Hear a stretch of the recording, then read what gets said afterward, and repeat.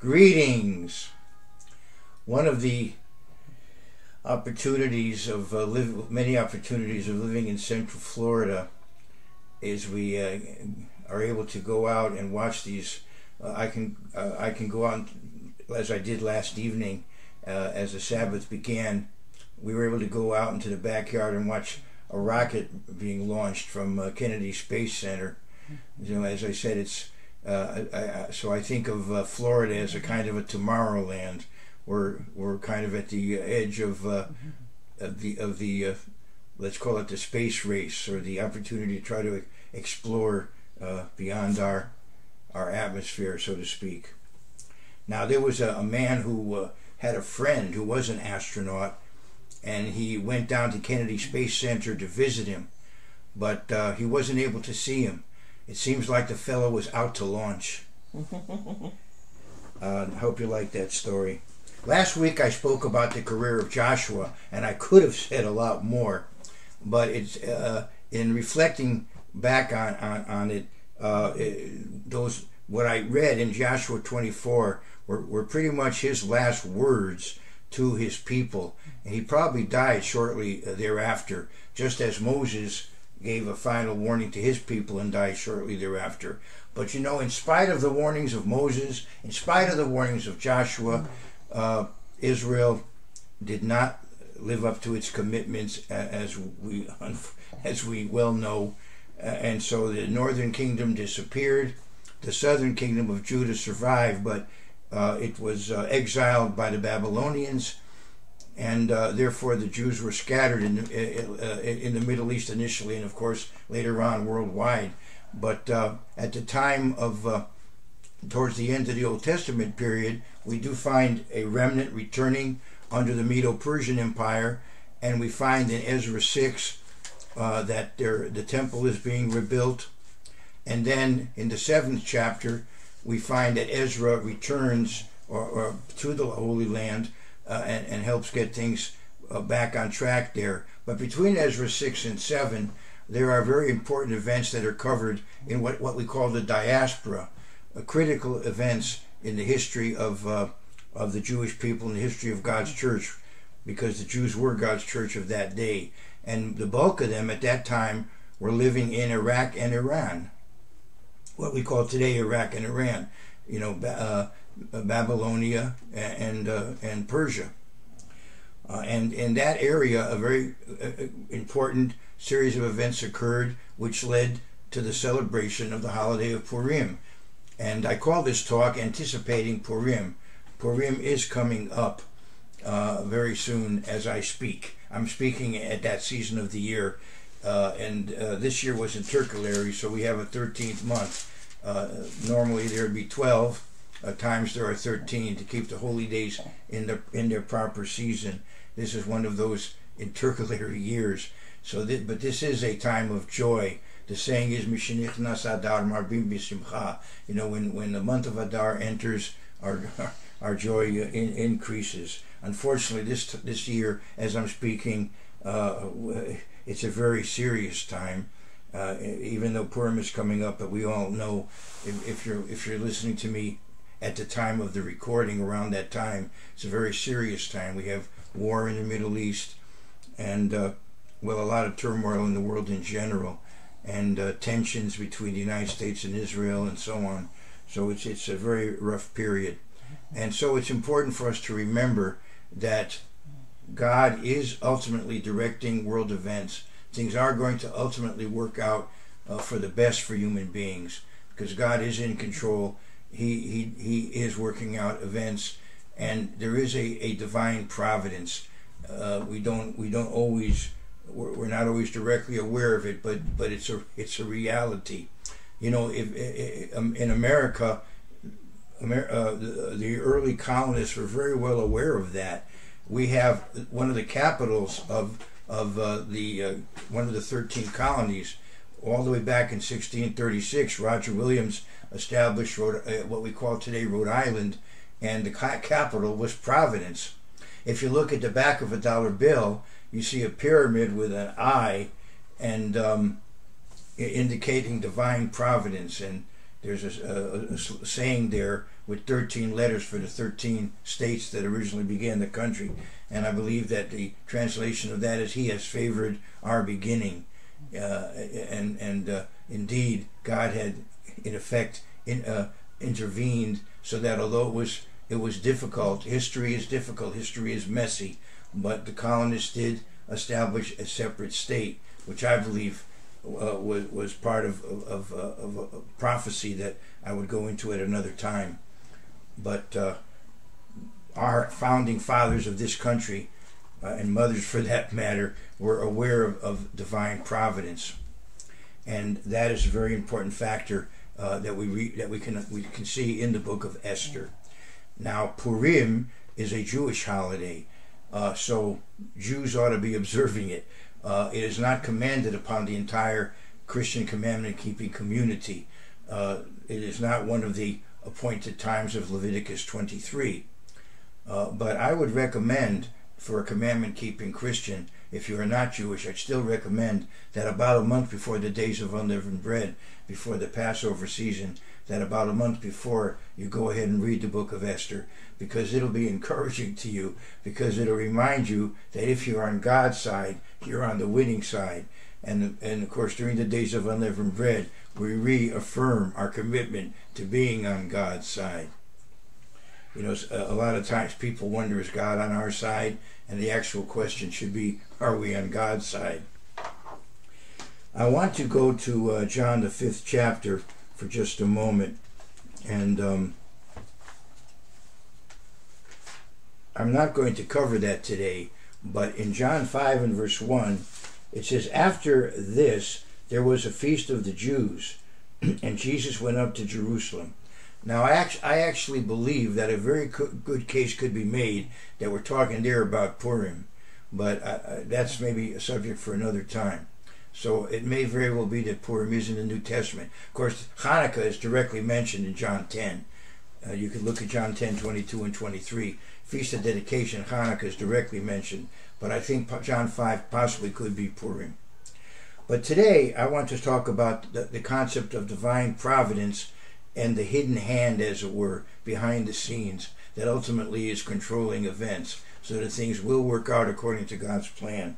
I want to go to what Paul told the Athenians in Acts 17. He went to the uh, intellectual and cultural center uh, of the world at that time, and he go and in Acts 17 and verse 26, he says he, he says of God of God, and He has made from one blood every nation of men to dwell on all the face of the earth, and has determined their uh, pre-appointed times and the boundaries of their dwellings. Oh, so God is is in is is in, ultimately in control and does direct uh, world events. And uh, I want to go now to Matthew ten. And he also, if you have a relationship with God, he will be present in your life, guiding and directing events. In uh, in John ten and verse, uh, uh, let's go to verse. I'm sorry, did I say John? I'm okay. Good, thank you. Linda's here to help. John, uh, Matthew, uh, Matthew 10, and I want to go to verse um, uh, 29. Are not two sparrows sold for a copper coin, and not one of them falls to the ground apart from your Father's will? But the very hairs of your head are numbered. You know, God's omnis- omnis- omniscient and eternal. He's above time and space and he's all powerful, omnipotent. He's omnibeneficent. He's all good, perfect good. He's omnipresent. He's eternal. Uh, do not fear, therefore, you are of more value than many sparrows. So God knows about you. If you have a relationship with God, He's there for you. He will guide and direct events in your life. You need to develop that relationship with Him. Now, uh, I want to go back to uh, the book of Ecclesiastes because in the Hebrew order of the books, uh, the, the, traditional Jewish order, Ecclesiastes comes before Esther, and Esther is linked to Ecclesiastes. It begins with a copula, it begins with a vav, with, with and. Uh, and so it's connected to the book before. And the book before is Ecclesiastes. So I want to go there and see how Ecclesiastes ends because it does tie in with Esther. You know, the book of Esther, in effect, shows us what, what goes around comes around. The principle of Mida Keneged Mida. You know, that the uh, more or less the punishment fits the crime, so to speak.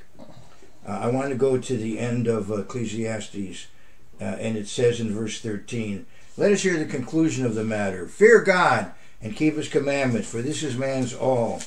For God will bring every work into judgment, including every secret thing, whether good or evil. And the next, and then you go right into into Esther, and uh, it gives an example of that. Uh, here we have a plot by Haman. He, he doesn't really let let it let, you know let it, all of his cards out, as it were, to use that metaphor. He doesn't really tell Zer, uh, Ahasuerus uh, his real motive in wanting to destroy the Jews. He makes it seem like there's some threat to the to the stability of the kingdom, to the to the reign of the king, and so on. Uh, you know, but but he had his own. Um, narcissistic, ego, egoist, you know, egotistical reasons, um, besides perhaps ethnic uh, hatred as well, which is an, an uh, perhaps another factor. Uh, and so he had this secret plot. He also had this, excuse me, this plot to hang Mordecai. Uh, and he, of course, was thwarted. He wound up being hanged, uh, and uh, and the enemies of, Jew, of the Jews wound, wound up on the losing end. But also there are secret things that that go on uh, in the book of Esther. Uh, the Esther herself, her name, uh, it, it, it, evidently it's of Persian origin, and she also had the Hebrew name Hadassah, which is evidently you know myrtle. But uh, a person who has a lot of Hebrew background, when he sees the word Esther, he also thinks of the Hebrew root that has to do with being hidden. Uh, and so there, Esther is a book where God is not directly mentioned by name, and yet you see His hand in the book. You, you, you see divine providence in the book, and yet God is not directly mentioned by name. Uh, and Esther herself, for a while, hid her own identity as, as, as, under the advice of Mordecai. Uh, and you know, she herself um, did for for good reasons you know, the Bible tells us to be wise as serpents and harmless as doves. I think that's in that same chapter of Matthew that I was reading. You know, um, I still I still have it out in front of me. So let me read what what he says to his apostles here in uh, Matthew ten sixteen. These are the words of Jesus Christ. Behold, excuse me. Behold, I send you as sheep in the midst of wolves. Therefore, be wise as serpents and harmless as doves. So, anyway, that's uh, somewhat of a background to the book of Esther. Now, I want to go to a prophecy in Daniel 11.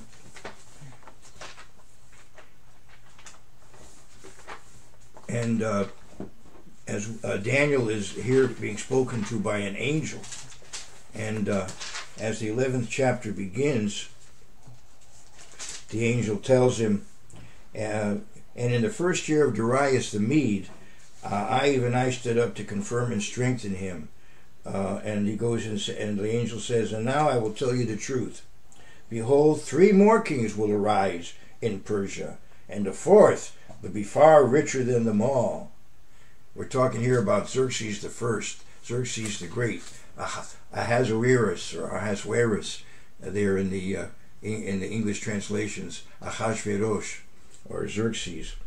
Uh, and, and now I will tell you the truth. Behold, three more kings will arise in Persia, and the fourth will be far richer than them all. By his strength, through his riches, he shall stir up all against the realm of Greece. So he wanted to uh, try to conquer Greece, and his, his failure to do so was probably for the best, uh, but he, he attempted to do that.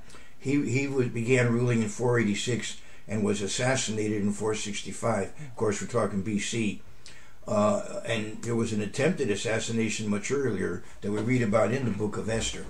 But we see in the book of Esther that he's having these banquets, these feasts for for uh, the VIPs in his empire, and it goes on for for half a year.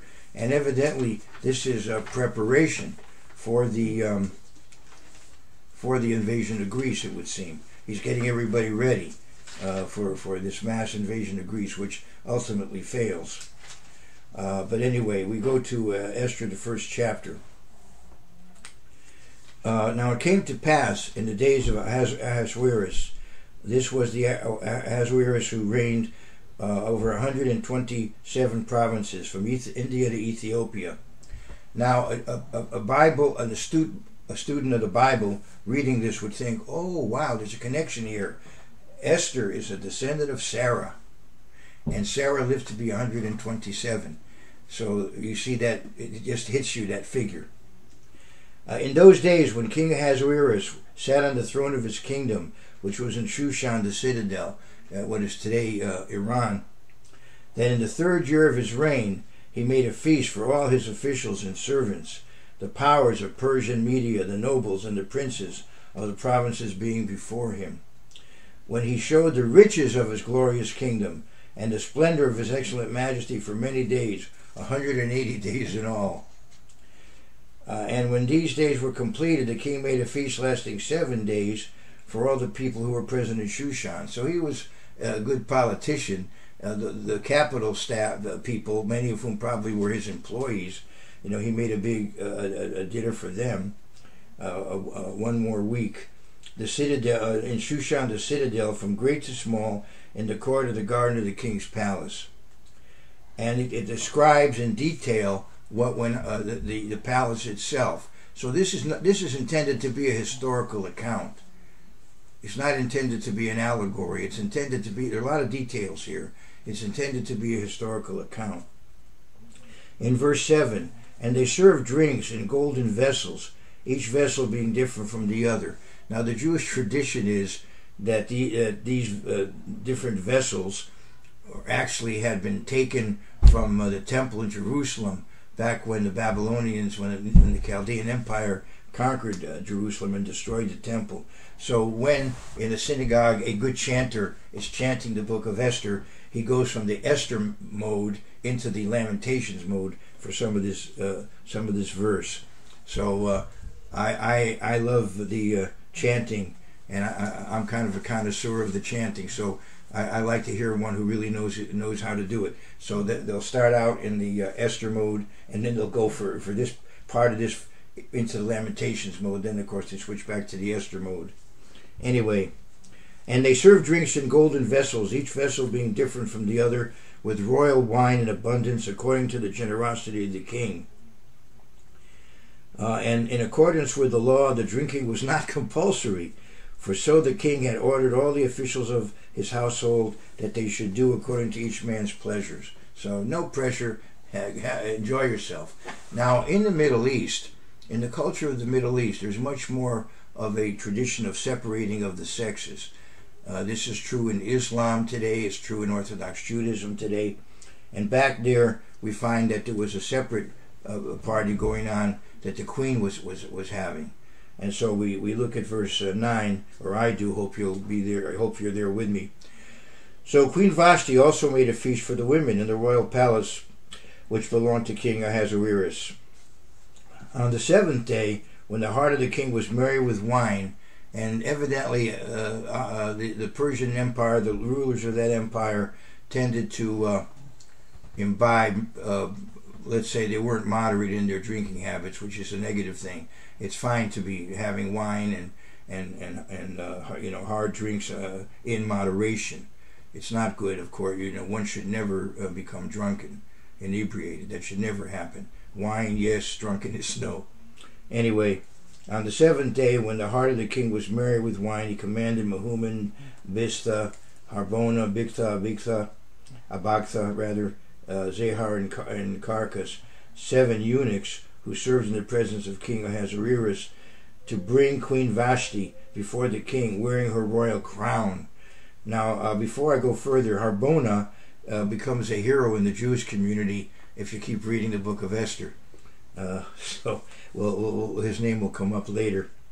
Uh, but, you know, this is a very rough situation here. history is messy, and uh, human beings being what they are, things work out for the best. But as I said, history is is is, is not pleasant to, to, to read about. If if you look at the royal line itself, the, the messianic line, the line of Jesus Christ, you find, for example, uh, Tamar, uh, who let's say she you, you don't know how, how, how she wound up getting pregnant. And you see uh, Rahab who has a, a, a, let's say a shadowy uh, past. And you see um, Bathsheba uh, and, and Ruth who is a Moabite. She converted of course she became a part of the Sinaitic covenant. But her background was was among people who were enemies of of of, uh, of, uh, of Israel and Judah so anyway as I said, history is, is rather messy. And, you know, here we have a king who had a harem, who had eunuchs, uh, and uh, who was plotting an invasion uh, further west. You know, so this is the reality. This is the world as it is. So he said, uh, let's go what he, and what he commands to do in verse 11. To bring Queen Vashti uh, before the king wearing her royal crown in order to show her beauty to the people and the officials, for she was beautiful to behold. But Queen Vashti refused to come at the king's command, brought by his eunuchs. Uh, so here, uh, it's interesting. If you look at Iran today, they seem they seem to, to be really hung up with with uh, keeping women, quote unquote, in their place. To you know, it's it's it's it's rather tragic what's going on in Iran now, and our women are being treated there now. So uh, this seems to be here. We have an issue a similar issue here, although this is a little bit different. You could say that uh, you wonder why she refused. If, if she, you know, it, did, did he ask something extreme of her? Or, or was she just an uppity sort of person or what? Uh, anyway, but Queen Vashti refused to come at the king's command, brought by his eunuchs. Therefore the king was furious, and his anger burned within him. Uh, then the king said to the wise men who understood the times, for this was the king's manner toward all who knew law and justice. So at least he did have advisors. Uh, to, uh, that, was that's a positive thing. Uh, those closest to him being uh, Carshena, Seth, uh, Shethar, Admatha, Tarshish, uh, Meres, Marsena, and Memucan. So, see, as I said, you see, this is not written to be allegorical. This is a historical account. Um, otherwise, where did Purim come from? Uh, this gives the explanation of why there is a, Pur- a Purim holiday. Anyway, so it talks about these as the seven princes of Persian Media who had access to the king's presence and uh, who ranked highest in the kingdom. What shall we do to Queen Vashti according to law, because she did not obey the command of King Ahasuerus brought to her by the eunuchs? And Memucan answered before the king and the princes, Queen Vashti has not only wronged the king, but also all the princes and all the people who are in all the provinces of King Ahasuerus. For the queen's behavior will become known to all women, so that they will despise their husbands in their eyes. When they report, King Ahasuerus commanded Queen Vashti to be brought in before him, but she did not come. Now, as we keep reading, you'll see how in these first two chapters, everything uh, comes into place to prepare for the salvation of God's people later on. You know, He prepares. We have a saying um, in our in our community. You know, He prepares the cure before the disease. so here we have everything falls into place before the uh, before the trouble even starts. Uh, so to save time, let's just say that he puts her away in the sense that he she doesn't come to him anymore and he she's no longer going to be queen.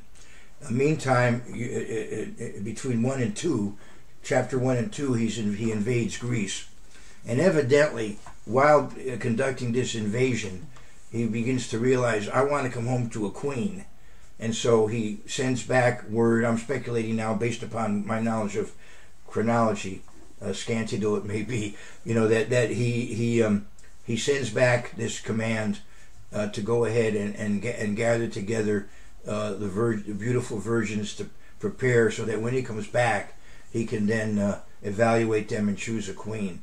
And he comes back earlier than he had planned because things didn't go well for him. And so I believe after the Battle of, Salam, Battle of Salamis in 480, he returns, leaves some army behind, but they, they lose further, and the invasion is a failure. But he comes back, and uh, meantime, these versions are being prepared. It takes a whole year for them to be prepared. So he comes back, I think, around the middle of that period, and then after a number of months, they begin to come to him, and he he makes his evaluation of who's going to be queen. And again, it's it's it's a rough situation to when you when you really think about it.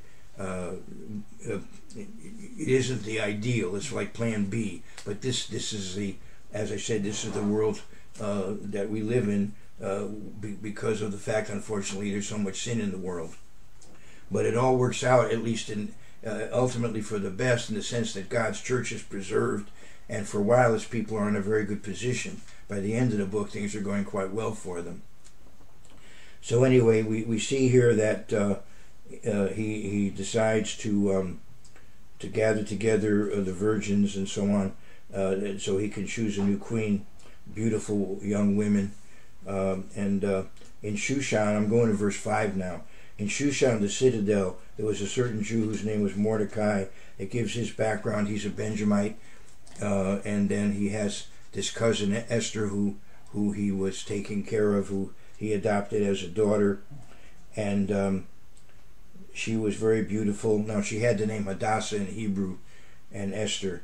Uh, it's often the case, uh, you know, I'm Meir David, but I, you know, I'm Mark David in in English. So uh, my first name in in in the secular world is different than the Hebrew. Mark and Meir do not translate. Neither do Hadassah and Esther translate. Uh, so anyway, um, I'm going to go to verse. Uh, well, I'm going to jump ahead and just real, you know, because you, you uh, I want to, to be, you know, within the time frame that my, that's normal for for these messages. So uh, now he she's taken to the to the uh, to the palace, and um, and then we want and and she finds favor there. Um, now I'm going to go to verse nine. Now the young, uh, let's go, let's go to verse eight. So it was when the king's command and decree were heard, and when many young women were gathered in Shushan the citadel under the custody of Hegai, that Esther also was taken to the king's palace into the care of Hegai the custodian of the women, and she was particularly favored by him. So things are again are working out so that she winds up being being the choice. But notice in verse ten, Esther had not revealed her people or family, for Mordecai had charged her not to reveal it. So there are times, you know, to keep your cards close to the vest, as it were, to use that metaphor. And every day Mordecai paced in front of the uh, uh, of the court of the women's quarters to learn of Esther's welfare and what was happening to her. And then you can read about how the women were prepared. And and, and, and I think it, it, I think the way the way it's worded here it took a whole year uh, for them to uh, tw- uh, to be ready for, for the night with the king. There was a movie about the Book of Esther that came out some years ago called One Night with the King, you know, and that that's how, how he makes his evaluation. Um, so in, in verse uh, in verse uh, thirteen, um, thus prepared, each young woman uh, went to the king, and she was given whatever she desired to take uh, with her from the women's quarters to the king's palace. In the evening she went, and in the morning she returned to the uh, second house of the women, to the custody of, uh, of Shaashgaz, the, the king's eunuch who kept the concubines. She would not go to the king again unless the king delighted in her and called for her by name. You know, so you can make, you know, comments on the government at that time uh, and unfortunately many governments in this day and time.